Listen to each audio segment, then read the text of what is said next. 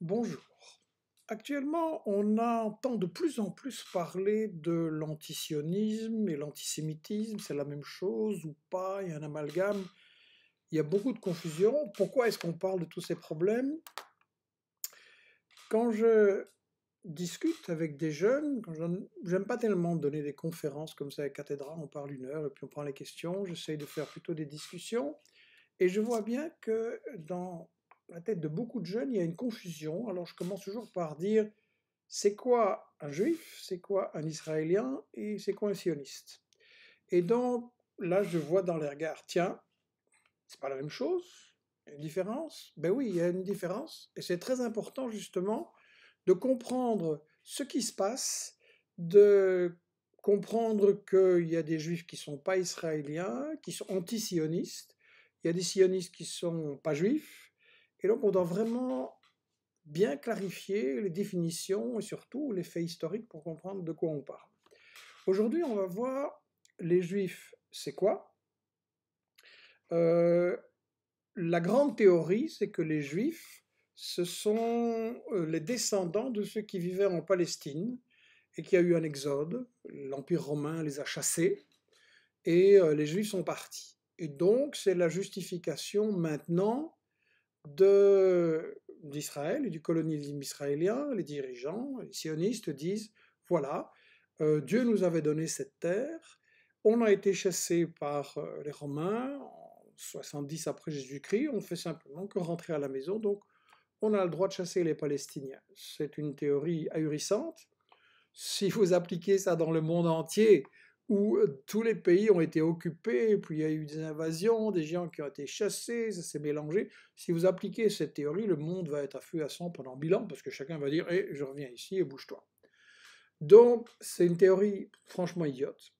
Mais on doit quand même voir aussi la mauvaise foi des dirigeants sionistes qui diffusent cette théorie, Dieu nous a donné cette terre, on a été chassés.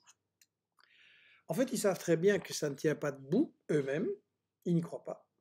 Et dans le livre Israël parlons-en, que j'ai euh, publié il y a 2009 maintenant, où j'analyse les mythes, les médias mensonges sur toute l'histoire, les enjeux, les médias d'Israël et du Moyen-Orient, j'ai euh, choisi de donner la parole à un juif israélien, mais pas sioniste, qui s'appelle Shlomo Sand, c'est un historien, Shlomo Sand, voilà, L'exode du peuple juif, mytho-réalité. Il a publié un bouquin passionnant là-dessus et je l'ai interrogé.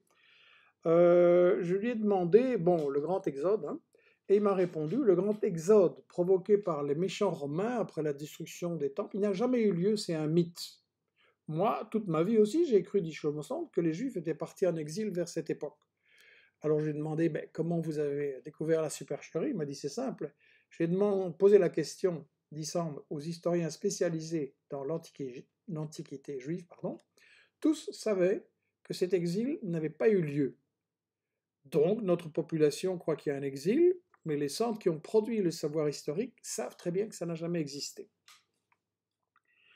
Euh, ensuite, les archéologues disent qu'en fait, sur cette terre, les populations n'ont pas changé c'est la même population, en gros, qui a 2000 ans, euh, et même avant. À un moment donné, elle a été judaïsée, elle a pris la religion juive, à un moment donné, elle a changé. Et donc, il n'y a pas eu d'exode. De toute façon, c'est un peu absurde. L'Empire romain qui occupe et qui exploite toute une série de populations ne va évidemment pas chasser les paysans qui produisent des richesses et qui paye des taxes. C'est absurde. En fait, euh, cette histoire de l'Exode, elle a été bien abordée aussi dans un texte de Pierre Stamboul sur le site euh, de l'Union des Juifs progressistes de France. Et il écrit Il est important de noter que majoritairement, très majoritairement, dit-il, les juifs d'aujourd'hui sont les descendants de juifs convertis qui n'ont pas grand-chose à voir avec la Palestine, et que les descendants des Judéens de l'Antiquité sont ceux qui sont toujours restés sur place, c'est-à-dire les Palestiniens. Donc ça c'est rigolo, si on peut dire. Les Sémites, c'est les Palestiniens. Donc si on est antisémite et qu'on est anti-palestinien, donc Netanyahou est antisémite, ça c'est mon avis en tout cas. Dit les Palestiniens d'Istanbul ont été majoritairement juifs, puis majoritairement chrétiens, puis majoritairement musulmans. La Palestine présente cette particularité que les trois religions ont cohabité pendant une quinzaine de siècles et qu'avant l'arrivée des sionistes, 1848, mais en fait avant déjà, un peu avant, il y avait en gros d'Istanbul, en Palestine, 80% de musulmans, 16 à 17% de chrétiens et 3 à 4% de juifs.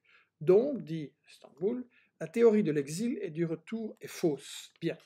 Donc les populations ont été mélangées, les sémites c'est plutôt les palestiniens, mais alors les juifs maintenant, et les juifs qui euh, prétendent retourner en Israël, c'est qui? Ils viennent d'où? S'ils ne viennent pas de Palestine. En fait, ces juifs-là, ce sont des convertis. C'est-à-dire qu'il y a eu dans l'histoire des conversions importantes et la période après Jésus-Christ, c'est la période où il y a plusieurs religions qui se disputent les faveurs du public, si j'ose dire. Il y a le christianisme, il y a les juifs, qui à ce moment-là, c'est une religion euh, prosélyte, c'est-à-dire qui essaye de faire des nouveaux convertis. Il y a le culte du Mitra, etc. Et la religion juive va avoir un grand succès, notamment auprès des femmes dans l'Empire romain, parce qu'elle leur accorde des droits, limités peut-être, mais quand même des droits qu'elles n'avaient pas avant. Donc c'est un progrès et ça explique le succès, et puis c'est le christianisme qui va, qui va prendre la place. Donc, en fait, les juifs, c'est des convertis.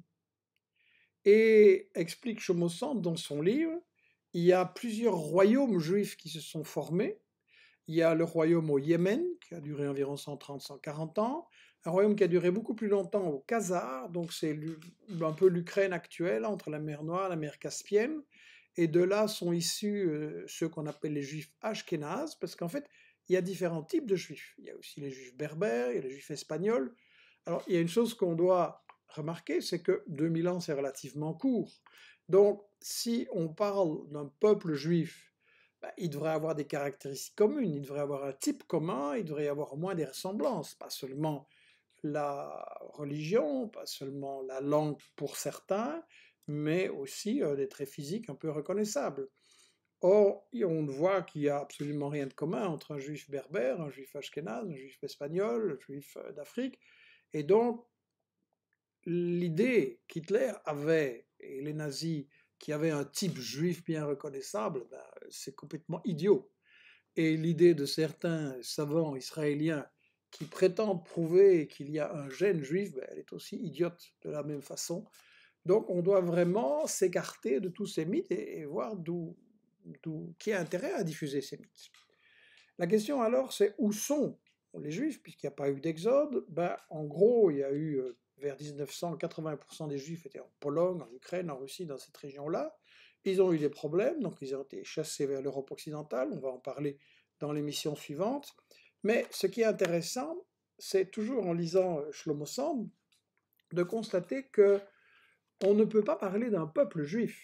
Shlomo Sand dit à ce sujet, l'introduction du mot peuple dans le langage courant c'est dit d'un groupe humain qui a une origine commune et un langage commun. Dans les deux cas, on ne peut pas appliquer ça aux juifs. Ce n'est pas un groupe qui a la même origine et ne parle pas la même langue.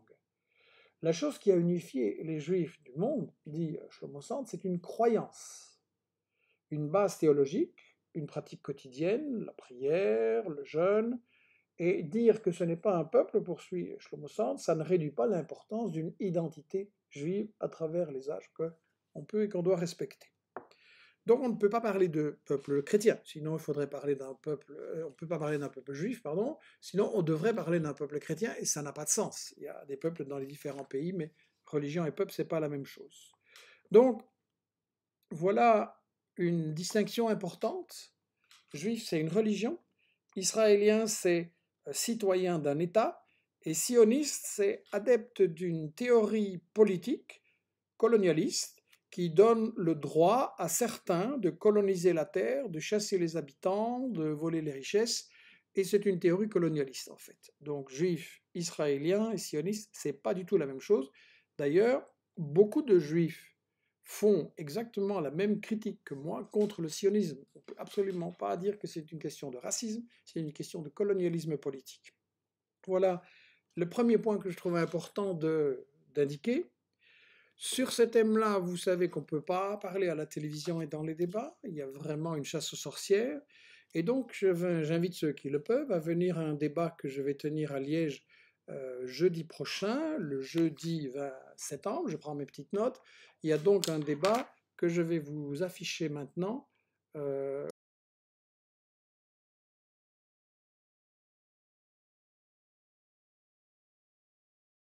Voilà, euh, je n'avais pas le son en même temps, mais donc c'est un débat le jeudi 20 à 18h à l'université à Liège sur le thème euh, Quel avenir pour la Palestine à l'ère de Trump et avec toute la politique internationale. Ceux qui veulent être au courant, parce qu'il y aura d'autres débats, euh, peuvent s'inscrire à notre newsletter sur notre site. C'est le meilleur moyen de contact par rapport à nos activités pour être tenu au courant, pour nous soutenir, pour les diffuser, parce que vous savez qu'on est censuré et boycotté.